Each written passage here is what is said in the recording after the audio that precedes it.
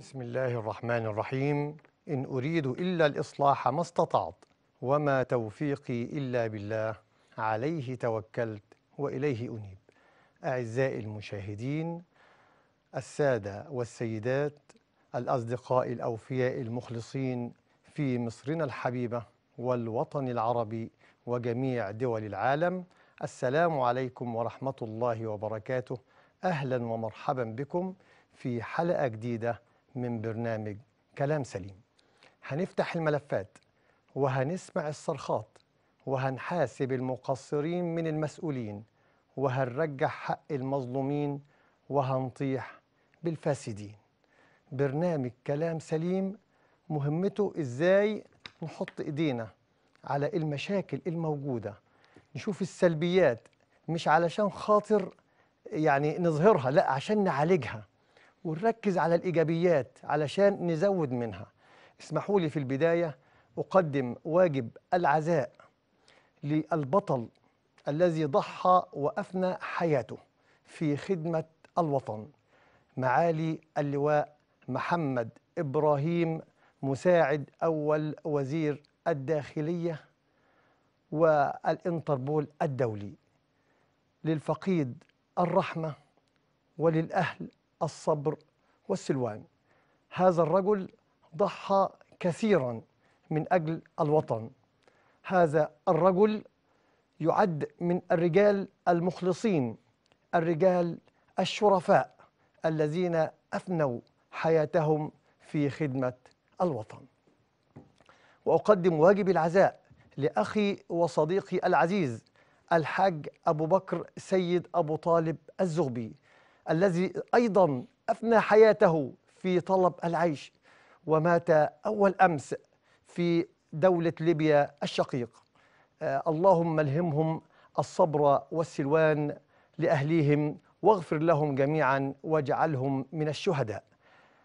كمان اسمحوا لي آه أعزائي المشاهدين آه أقدم التحية لكم جميعا وأقدم التحية للسادة ضيوفي الكرام معالي وكيل الوزارة الأول السابق حمدي بيه عاصي شرفتنا يا فندم ونورتنا. أهلا أستاذ محمود. أهلا. معالي أهلا. المستشار سيادة النائب عضو لجنة التنمية المحلية بمجلس النواب عصام بيك. إدريس شرفتنا يا فندم. ربنا يكرمك. معالي الدكتور مصطفى داوود شرفتنا يا فندم. أهلا بحضرتك. رئيس جمعية جمعية الصيادلة بمصر. أهلا وسهلا شرفتونا. طبعا زي ما أنتم عارفين إن إحنا برنامج كلام سليم مهمته نفتح الملفات. وطبعا زي ما أنتم عارفين الملفات في مصر كتيرة والمشاكل أكتر. ولكن إن شاء الله في ال- الألفية الجاية إن شاء الله والأيام اللي جاية إن شاء الله يكون في خير إن شاء الله يعم مصرنا الحبيبة والوطن العربي. طبعا عاوزين نبدأ بال- بالسؤال بتاعنا لمعالي النائب عصام بيك إدريس بخصوص مشكلة مدينة أبو النمرس. المشكلة دي اللي هي ال- الشارع التجاري. الشارع التجاري ده معاليك. أنا كنت رحت أنا وحضرتك مع وكيل وزارة الري. المشكلة دي عاوزين بس نعرف حضراتكم إن من 20 سنة كان وزارة الري والمسؤولين والقائمين على العمل يا ريت بس تجيبوا لنا ال- الفيديوهات بتاعة ال- الشارع التجاري علشان نعرضها للناس يشوفوا الواقع اللي إحنا بنتكلم عنه يعني آه، بالصوت والصورة. إحنا بنتكلم بالصوت وقدامنا الصورة. من 20 سنة ال- الشارع التجاري ده اتغطت الترعة فيه بس مش كلها اتغطت نص الترعة. وبعد كده وزارة الري والمسؤولين عانوا ايديهم من على الترعة. طبعا المكان ازدحم وبقى شارع تجاري وفي محلات فخمة وفي بيوت. طب الناس تعمل إيه؟ قدمت أكتر من طلب للوزارة وللمسؤولين. قال لهم ما عندناش ميزانية. طب إيه العمل؟ اي اللي عاوز يعمل حاجة يعملها على حسابه. بعد كده الناس طبعا اضطرت إنها تعمل هذا العمل على حسابها. ده كانت الواقع الأولاني. الترعه كانت بالنظام ده. لما اتغطت هاتوا لنا الصورة الثانية بقت بالنظام ده. ده النظام لما اتغطت الترعة. فوجئوا في في الأيام القليلة الماضية إن عليهم غرامات. وعليهم قضايا بناء بدون ترخيص على الرغم إن هم اللي سمحوا لهم إن هم يبنوا. علشان المنظر ده ما نشوفوش تاني. يا ريت الصور كلها تبقى معروضة والفيديو كمان يبقى معروض. أيوه عشان خاطر الناس تبقى عارفة بس إن إحنا بنتكلم عن وقائع. فوجئنا لما رحنا أنا ومعالي النائب عصام بيك إدريس. رحنا لوكيل وزارة الري. رحنا لوزير الري فالمهم قال لنا في حل. قلنا له إيه هو الحل؟ قال إن ال- الجماعة اللي غطوا ترعه على حسابهم هييجوا يقدموا طلب. بناء عليه هتقوم لجنة من آه، الهندسة بتاعة جامعة القاهرة الإشراف أو آه، لجنة تانية. منين يا ست الرئيس من البحوث. من البحوث. وبعد كده تيجي اللجنة. إذا قالت إن تمام التغطية مطابقة للمواصفات بيبقى في حاجة تانية. إن الناس دي تتحمل التكاليف بتاعت كل حاجة بتاعت تطهير مدى الحياة.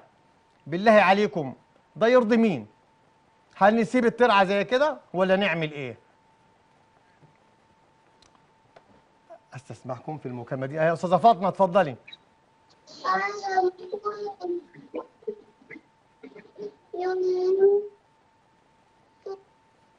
طيب ماشي. معالي ال- الوزير تكلمنا بقى عن الموضوع ده وعن المشكلة دي. سيادتك طبعا أنت اللي تبنيت هذه المشكلة فعاوزك تكلمنا عنها. اتفضل يا فندم.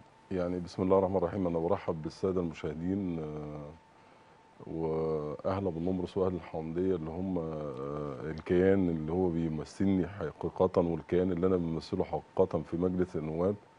ويعني يمكن أنت ذكرتني بوزية. يعني أنا بنعي برضو راجل محترم جدا راجل إذاعة وتلفزيون الشيخ محمود أبو سليمان من كبار قراء الإذاعة والتلفزيون عندنا في الحومديه فأنا بنعيه وربنا يرحمه وكان راجل من الناس المعدودة في مدينة الحومديه دي واحد. نعم. أما الثانية بالنسبة للموضوع ربنا يرحمهم جميعا. موضوع قصة الري وقصة التغطية والحاجات دي كلها إحنا برضو عشان يعني أنا تملي حتى في فترة المجلس لازم أكون منصف ل- للحكومة في وقت ومنصف للأهالي في وقت. العدل يعني لازم هو اللي بساد فلما. نيجي نتكلم على التغطية هو هو لا ننكر إن هناك خطأ من الأهالي ولكنه خطأ غير مقصود. تمام. آه، اولا ال- الترع ديت آه، يعني إن كانت هي ملك وزارة الري ولكن هي بتخدم على رقعة زراعية. تمام. الرقعة الزراعية دي يعني هو النهارده ما يقدرش يعمل تغطية أو أو لأن التغطية في تغطية وفي رد الا لما يكون في الحيز الزراعي في المنطقة دي مختفي تماما. تمام. ففي في وجود لحيز زراعي ولكن إحنا برضو بتعاون المسؤولين والمشكلة دي لأنها ظهرت وللأسف يعني يعني إحنا بعد فترات زي ما حضرتك قلت 20 سنة وأكتر من 20 سنة وشارع أحمد بدوي ده من الشوارع الرئيسية يمكن في مصر بالكامل وباب رزق لمجموعة كبير من الأهالي.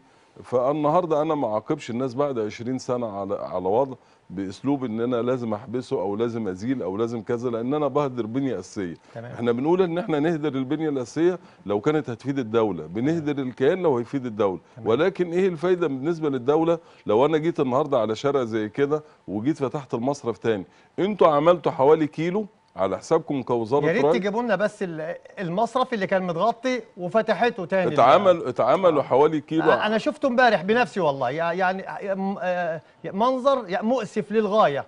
آه. المنظر ده كان متغطي. لو سمحت هاتوا لنا الفيديو اللي في ال- ده ده أنا عايز أقول يا جماعة على حاجة بس لأن هو ده مسلسل مقرر للإزالات. أنا النهارده ال- الإزالات اللي تمت بناء على القانون 17 ده التنفيذ عالج القانون غلط. ووصلته يا للناس القانون اللي أصدر من بتاع الشعب الشارع غلط. التجاري تكون موجودة فيا قدامنا جماعة ما- نعالجش ما نعالجش بطريقة آه، تضر المواطن وتضر الدولة في نفس الوقت. يعني يعني أنا النهارده الكيان بتاع الشارع ده موجود يبقى أنا أشوفه علاج وبالفعل يعني إحنا لما قدمنا طلب لمعالي اتفضل يا الوزير فندم. هل ده هل ده منظر يعني آدمي؟ وإحنا بنقول لا كورونا. ده ده لوحده كورونا. المنظر ده الترعة دي كانت متغطية. اتفتحت تاني. تخيل يا دكتور الترعه دي كانت متغطية. وأحدث تغطية.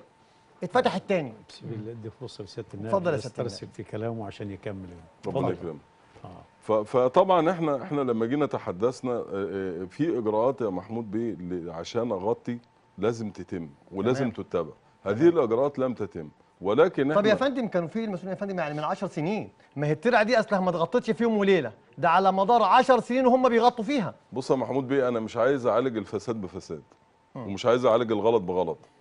أنا النهارده بقول إن في قد يكون في موظف مرتشي أو موظف مخطئ تمام. مش هقول إن إن لا الخطأ بتاعه ده يترتب عليه وضع. ولكن أنا النهارده أنا عايز أصحح الخطأ ده طالما في مصلحة الدولة وفي مصلحة الشعب. تمام. فإحنا بالنسبة لنا هذا الوضع نقول الآلية إيه اللي نعملها عشان نعالج الخطأ اللي عملوه السابقين واللي عملوه ال- الأهالي عشان نصحح الوضع بالنسبة للناس اللي موجودة آه، يعني في شارع أحمد بدوي واللي هو بيمثل كيان تقيل أنا أنا بس مش عايز أسترسل أكتر من اللازم ولكن هو إحنا جلسنا جلسة آه، مع القيادات التنفيذية وبادرنا بلجنة نزلت بالفعل على الطبيعة وشافت الشارع وبدأنا. نحط حلول للناس وتحدثنا مع السيد وكيل وزارة الري المهندس محمد راجل محترم جدا وكنت طب حضرتك يا فندم معايا معاليك يا فندم هل آه. الحل اللي طرحه علينا آه، المهندس محمد عبد السلام هل ده حل؟ آه حل وأفضل حل للناس حل إن ال- والناس والناس حل إن عليه الناس الأهالي اللي غطت على حسابها تتحمل تكاليف التطهير يا معالي الوزير مدى الحياة؟ لا هو ما بيقولش تكاليف محمود تطهير الترعة يا فندم المدى الحياة. ما بقولش تكليف التطهير عشان بس المعلومة كل تبقى سنة. لا لا لا عشان. بس المعلومة محمود تبقى واصلة. صح. هو هو مش بيتكلم على أنا لسه تطهير مكلمه النهارده الصبحيه لا هو ما دخلوا معايا بيتكلمش- مداخلة ولكن هو ما بيتكلمش ما بيتكلمش على تطهير الترع ولكن هو بيتكلم على إن أنا النهارده أنت ما خدتش مني تصريح. طب هو السؤال اللي هو بيسأله وكيل الوزارة نصا كده. لو أنا النهارده ال- الحاجة دي هل هي مطابقة للمواصفات اللي هي أو الاشتراطات اللي عندي ولا لأ؟ طب ممكن أستسمح معاليك دكتورة كوثر. أهلا وسهلا.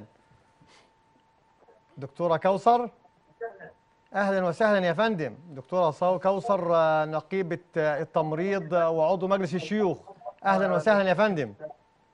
وعضو مجلس الشيوخ أهلا وسهلا يا فندم يا ريت يا فندم آه، يعني تقفلي التلفزيون و- وتسمعينا من عبر الهاتف لو سمحتي.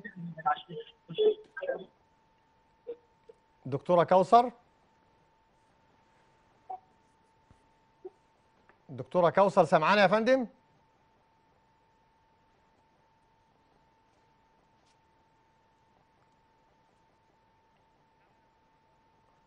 طيب يا ريت نعود الاتصال بيها تاني لو سمحتوا. اتفضل يا فندم. محمود بيه بس أنا أنا عشان بس المعلومة تبقى واصلة صح. اتفضل يا فندم. يعني وعشان إحنا يعني أنا زي ما بقول لحضرتك كده أنا راجل عضو مجلس نواب وراجل في لجنة الإدارة المحلية. تمام. وعملنا حاجات كتير والحاجات دي البعض قدرها والبعض ما قدرهاش. بس أنا أنا حسابي مع ربنا سبحانه وتعالى. تمام. أنا بتكلم على الحساب. ما أقولش إن أرمي على الدولة أو أرمي على الأشخاص ولكن أدي لكل حق حق. أنا اللي بتكلم فيه الوقت إحنا عايزين طيب. نصحح الخطأ طب ده. بعتذر يا معالي معاليك الباشا أنا طيب. أستأذنك. أعتذر معاليك آه دكتورة كوثر. أيوه يا فندم سامعين حضرتك؟ السلام عليكم يا أستاذ محمود يا دكتور سلام. ورحمة الله وبركاته. أهلا يا دكتور الاخبار معاليكي؟ آه، الحقيقة بس معلش أنا مش الدكتورة كوثر أنا فاطمة جمال إبراهيم آه، طالبة في ماجستير تمريض جامعة عين شمس. أهلا وسهلا يا فندم اتفضلي. قولي مشكلتك أنا كنت تكلمت معاكي قولي لنا مشكلتك طيب اتفضلي. آه، حضرتك إحنا بنشتكي إن إحنا كنا آه، مقدمين على تفرغ آه، ومنحة دراسية من وزارة الصحة وأخدنا سنة والمفروض فاضل لينا تجديد ست شهور والوزارة مش راضية تجدد لينا الست شهور ويعني إحنا مش عارفين نتصرف إزاي. الدراسة ابتدت وإحنا بالفعل على قوة العمل ومش عارفين إن إحنا نوفق بين الدراسة وبين الشغل. رحنا الوزارة أكتر من مرة وحاولنا نقابل السادة المسؤولين. الحقيقة السكرتارية في وزارة الصحة أهم حاجة إن هم يمشونا من مكاتبهم ومحدش وصل معانا لأي حل. بعد محاولات كتير جدا جدا جدا آه، توصلنا إلى إن في مذكرة للعرض على سيادة الوزيرة بخصوص التفرغ بقالها شهرين لحد النهارده لم يتم البث فيها وإحنا مش عارفين نعمل إيه. حاولنا نتواصل مع الدكتورة كوثر آه، فيعني سكرتارية مكتبها مشكورين يا برضو ريت يا جماعة تجيبوا لنا دكتورة كوثر أثناء المكالمة كده لو سمحتوا اتفضلي كملي. آه، آه، قالوا لنا إن الدكتورة كوثر عندها علم بالموضوع وهي شايفة إن الوزارة ليها حق إنها ما تديناش التفرغ لأن دراستنا ما هياش شرط للترقي الوظيفي. يعني معقولة بعد ما يديكم الأمل في الحياة بعد كده ينزعوا عنكم الأمل؟ يعني أنا مش عارفة يمكن حتى لو الوزارة عايزة تلغي التفرغ أو في قانون جديد أو في توجه جديد للكلام ده ما يتطبقش على الناس اللي بالفعل بدأت الدراسة. تمام. لأن أنا بدأت دراسة سنة مجهود راحت ومصاريف ودفعت مصاريف تاني السنة دي فحرام يضيعوا مجهودنا. لو كنا نعرف إن الحال كده من البداية ما كناش قدمنا خالص. تمام هو برضك موجود معانا. دكتور علي مصطفى أكيد هيجاوبنا على النقطة دي و... والدكتورة كوثر هتكون معانا إن شاء الله بعد قليل إن شاء الله. شكرا لحضرتك شكرا لحضرتك. اتفضلي. معالي الوزير معلش سامحني إذا كنا لا أنا هو بس, ال- يعني الإعداد قال لنا إن الدكتوره كوثر فطبعا نعود الاتصال فعشان كده مع سامحني احترامي يعني. للدكتورة كوثر وكل الناس أنا أنا أنا يهمني إن الناس. تبقى واصلة لهم المعلومة كاملة أكيد طبعا. فتداخل المواضيع هيتوه ال- ال- الشخص عن لا ما أنا معايا. راجل ما شاء الله عليه يعني ربنا يكرمك. قد أنا- الدنيا الله. والموضوع أصلا في قلبه مش أنا- في مش في عقله بس يعني ده أنت لإكمال بتعيش بيه. إن ياخد الشكل العام اتفضل يا ونخلص يعني فندم. لازم. الموضوع يكمل تمام. يا فندم. فهو حضرتك دلوقتي إحنا اللي اتكلمنا فيه مع أهالي أبو النمرس وناس آه، كلهم ناس محترمة. تمام. وتحدثنا في هذا الأمر ووصلنا لحلول والحلول دي الوزارة والدولة ما عندهاش اعتراض ولكن هي بتقول لك أنا آه، ليا أسس فنية أنا بعمل الحاجة على أساسها ما أقدرش أخرج من الحاجة ديت لأن أنا ممكن تحصل كارثة هنشيلها للدولة. تمام. فهو الأسس الفنية إيه؟ اللي هو النهارده ال- الكيان الخرساني بالنسبة لل- اللي تم عمله عن طريق الأهالي تمام. لازم يبقى فيه لجنة. اللجنة دي عن طريق آه، كلية الهندسة زي ما حضرتك قلت تمام. وعن طريق معهد البحوث. معهد البحوث. اللجان دي ليها ليها بروتوكول وليها مصاريف. المصاريف أو المصروفات ديت اللي المفروض اللي هيتحملها الأهالي والأهالي ما اعترضوش على هذا الأمر. تمام. آه وفي نفس الوقت بعد كده يجي يبقى في تقنين وضع على أساس إن إحنا معلش يعني برضو إيه يهمنا الرقعة الزراعية إن كانت هناك رقعة زراعية. ده بالنسبة يا لفكره فندم هو معاليك هو انت انت هنا بقنن وضع هو أنا همتلك الحاجة دي؟ ده أنا غطيت للدولة.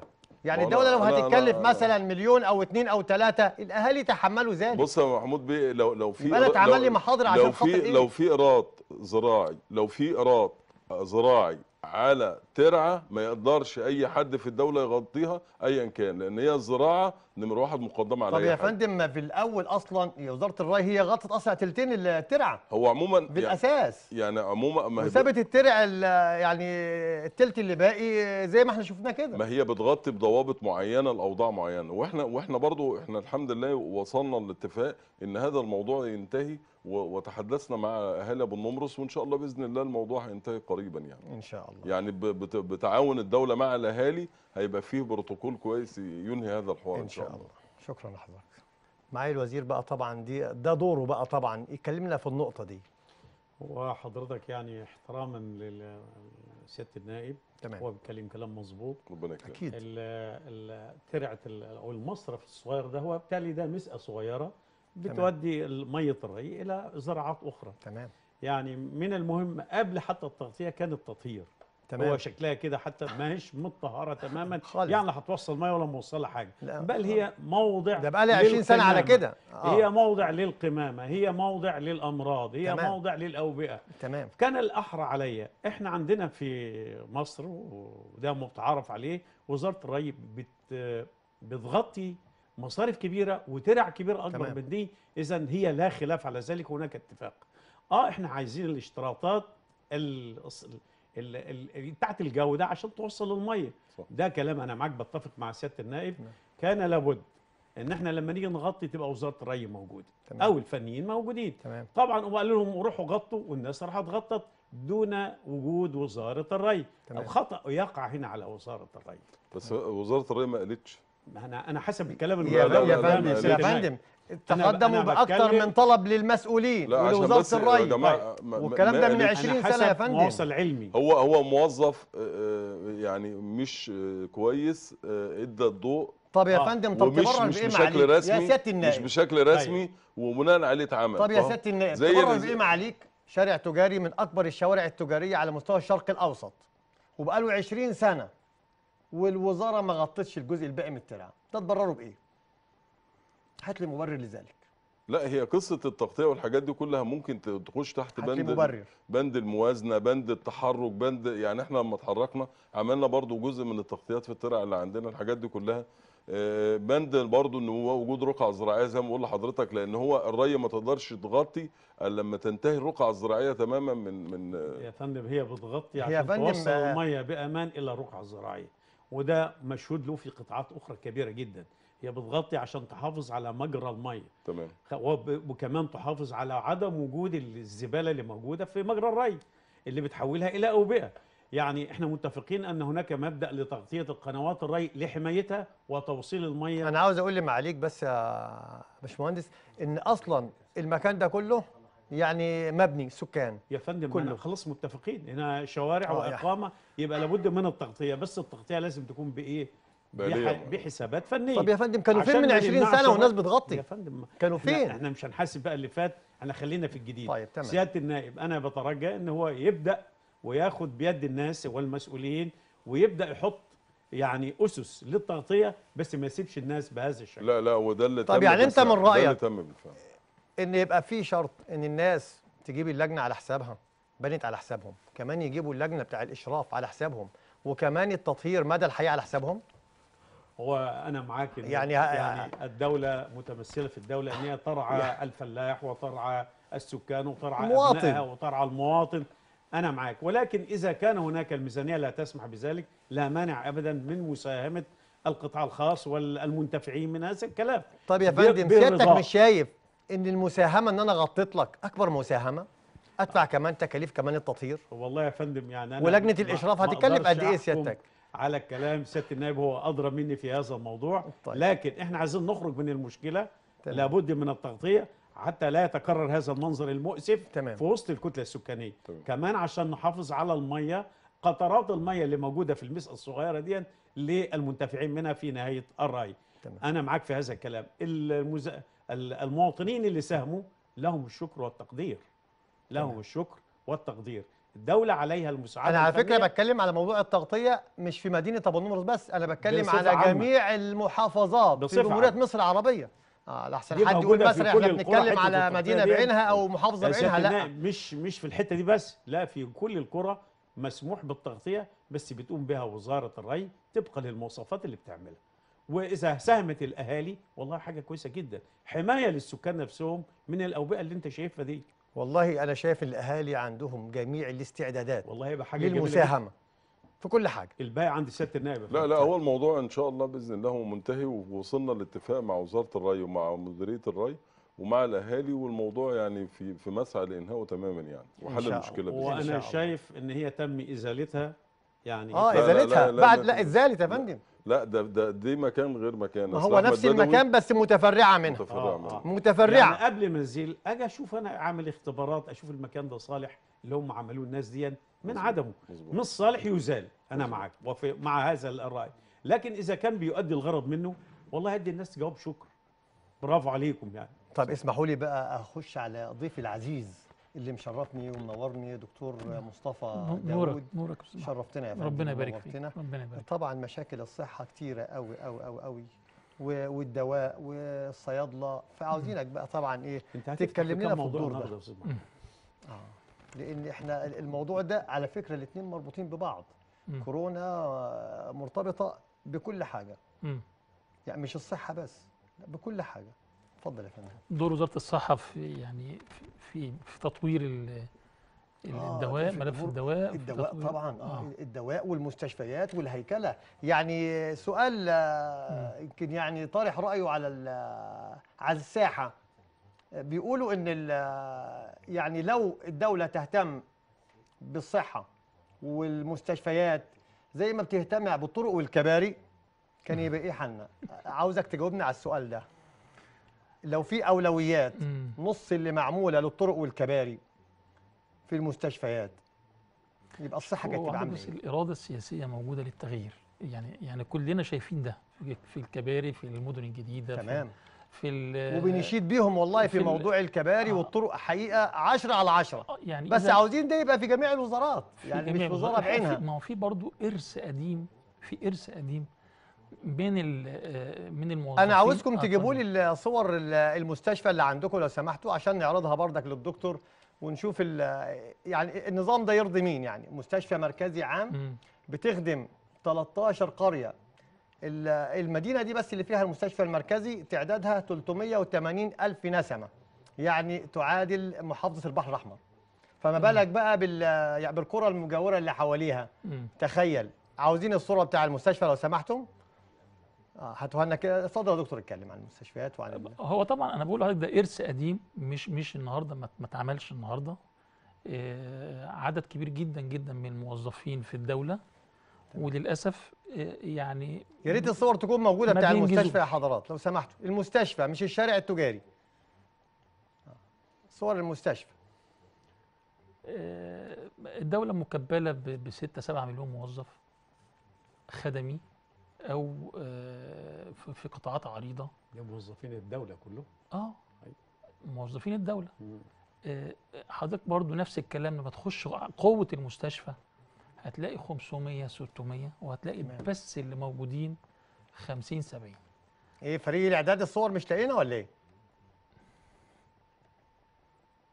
اتفضل يا فندم. إحنا محتاجين محتاجين تغيير في ثقافة الموظف. تغيير في ثقافته.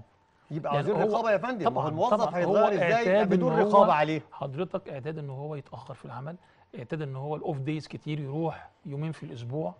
آه، آه، المسألة محتاجة ضبط محتاجة هيئة هيئة تعيد لوزارة الصحة الانضباط. هيئة تدريب وليكن لأن الموضوع ده يعني اتبنى على فترة زمنية طويلة. يعني النهاردة بس إحنا إحنا يعني مش مسؤولية الحكومة الحالية ما نقدرش نقول إنها مسؤولية الحكومة الحالية. ولكن ده موضوع قديم جدا تراكم من الأخطاء. آه، آه، لازم آه، يعني أنا بقترح هيئة تدريب تعيد تدريب ال ال كل أفراد المهن الطبية تمام.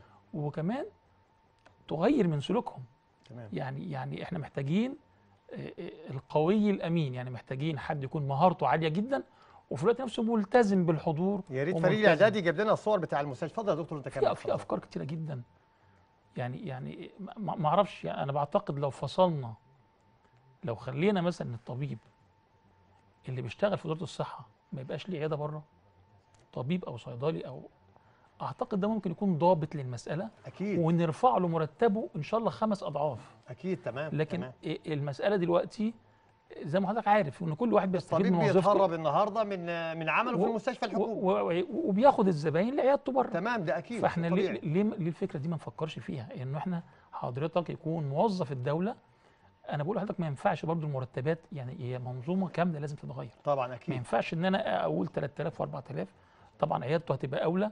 يبقى لازم حضرتك ال- الطبيب أو الصيدلي أو التمريض اللي أنا متمسك بيه هيشتغل عمل جاد من 8 ل 2 يعني عاوزين نقول إيه إذا أردت أن تطاع فأمر بما بالظبط. يستطاع بالظبط. بالظبط آه بالإضافة طبعا إحنا محتاجين هيئة تدريب لأنه حضرتك إحنا بنشوف الصيادلة مثلا أعداد كبيرة جدا جدا ولكن يعني درسوا مشكله الدواء يا فندم في مصر درسوا ملهاش حل. صيدلة ست سنين وفي الآخر بيقف حضرتك بيصرف ألبان أو بيصرف دواء مش معروف دوره الحقيقي تمام دوره الحقيقي اللي هو المفروض تطبيق الصيدلة الكلينيكية يقف جنب الطبيب بي- بي- بي- بيتدخل في كل سنتي بيخش جسم الإنسان هو ده دوره الحقيقي تمام الدواء وكل شيء عن الدواء تمام اتفضل حضرتك كنت سألت تقول إيه كنت هو أنا سألت بس أنا عايز. اتفضل. عايز اتفضل. م- بعد إذن معاليك ب- يعني برضه بحكم وجود الواحد في اتفضل يا المجلس وجزئية الصحة ديت أنا لما جيت في- في بداية المجلس وبراجع الموازنات بتاع وزارة الصحة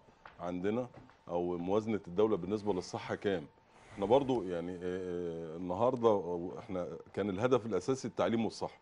وأي دولة بتبنى بالتعليم والصحة ولكن. أنا النهارده عشان التعليم والصحة لازم ادي لهم تارجت معين بالنسبة للموازنة الموازنة العامة لما يبقى آه، موازنة الصحة عندي حوالي 4 أو 5% و- و- و- والطبيعي بالنسبة للدول مش أقل من 15% من إجمالي الموازنة العامة يبقى ما تكلمنيش عن صحة كاملة ومنظومة كاملة ووضع كذا هنقول طب هو العيب في الدولة ولا في كذا؟ ما هو الدولة بتتحرك عشان ترفع الحاجات دي. يعني إحنا بدأنا نتحرك بالفعل.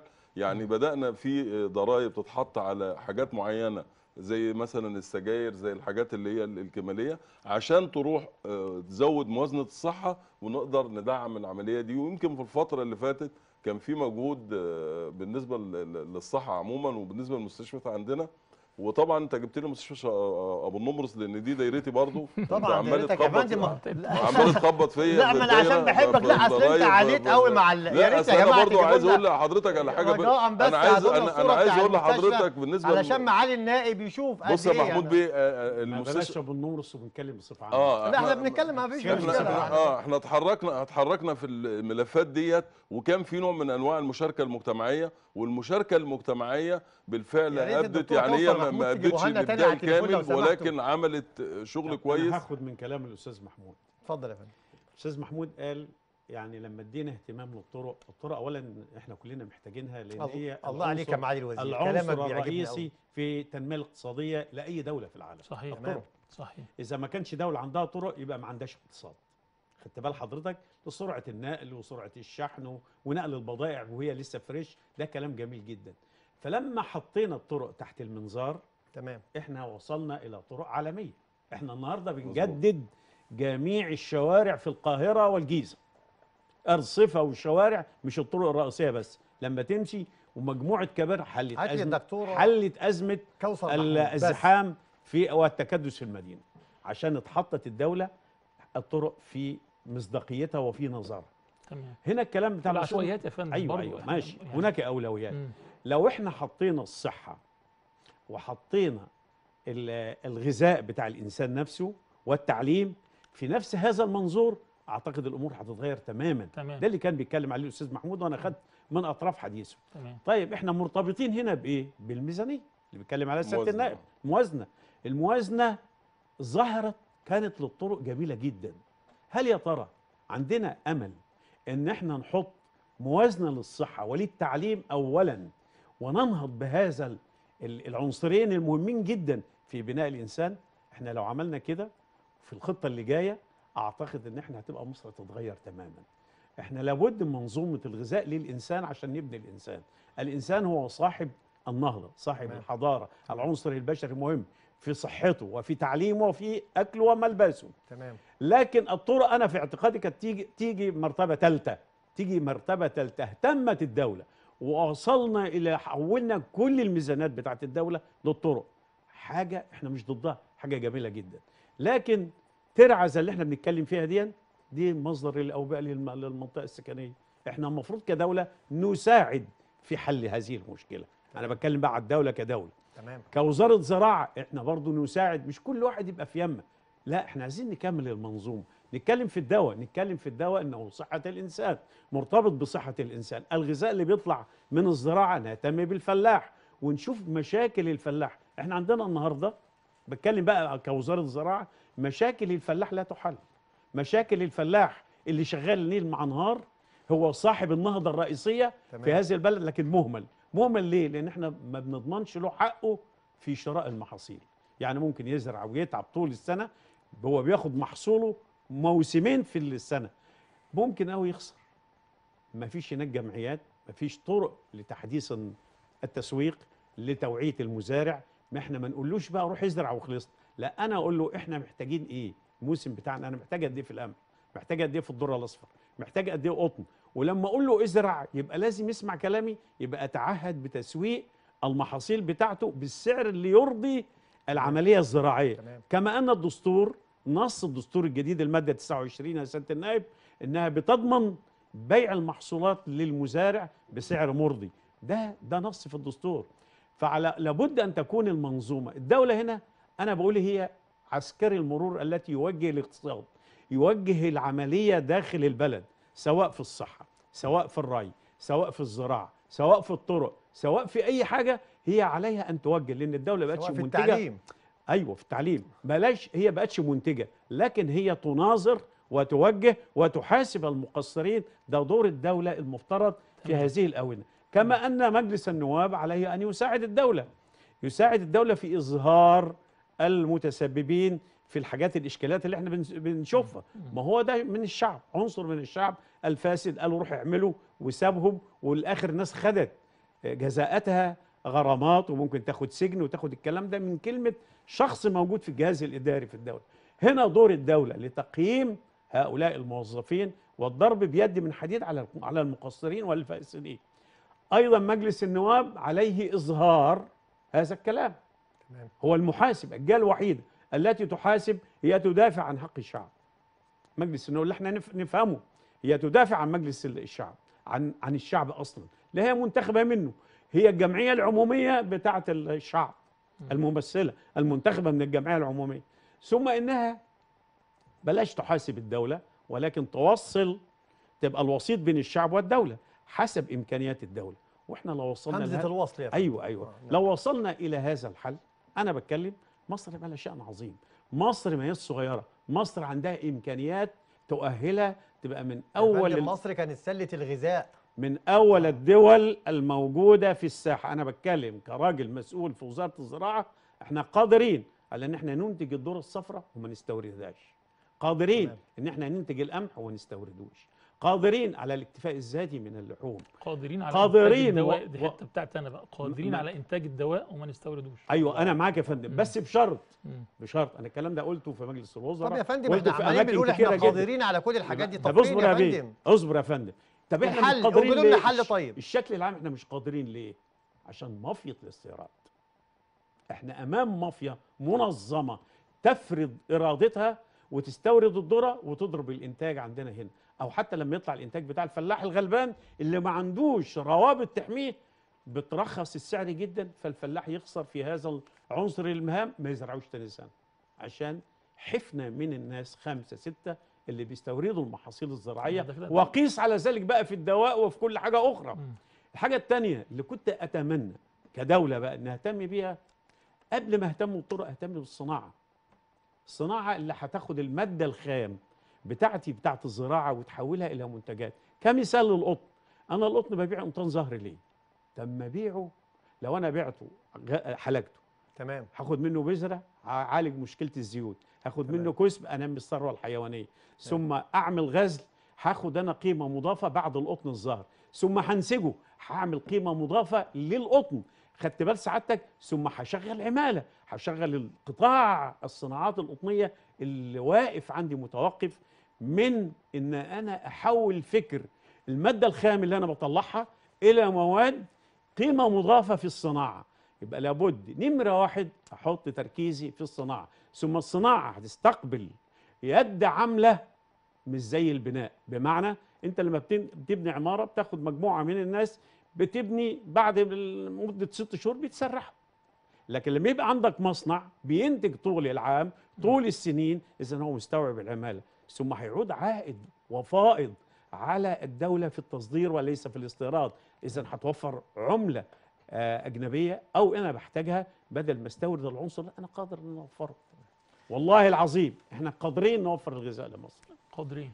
وقادرين نوفر الدواء لمصر. وقادرين نعمل كل حاجة بس بشرط القيادة السياسية تتوجه وتشوف مين اللي بيخنق هذا الاقتصاد. مين اللي بيخنق هذا الاقتصاد لا أكتر ولا أقل. وهنبقى إحنا زي ما نجحنا في الطرق. وخلي بال سعادتك هنرجع تاني لسنة 94 بعد الزلزال. بعد الزلزال لما قلنا. كان عندنا أمل 100 مدرسة.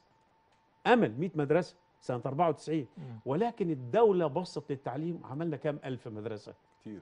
كتير لأن الدولة بصت لهذا الكلام. وتكاتفت الدولة وبقى عندنا آلافات من المدارس اللي اتعملت. وشارك فيها القطاع الخاص الناس المتبرعين سواء بالأرض الزراعية أو بالبناء. وكان ده منظومة جميلة جدا بين الشعب والحكومة. نتمنى إن إحنا نبص على الصناعة نبص على الصحة نبص على التعليم. تمام. كثافة التعليم النهارده في الفصل يا سياده النائب كام حوالي تلميذ 100 طالب. وفي أماكن أخرى. أنا عندي في أكتوبر بيتعدى ال 120 طالب. فين المنظومة؟ مم. المدرسة اللي هتدخل أو المدرس على ما ياخد الغياب ضاعت الحصة.